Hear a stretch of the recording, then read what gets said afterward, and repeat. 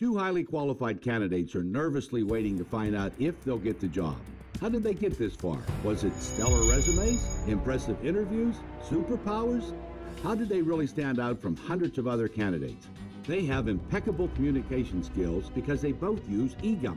EGUMPP is the interactive grammar source for everyone, from grade school students discovering grammar to established professionals hoping to communicate more effectively.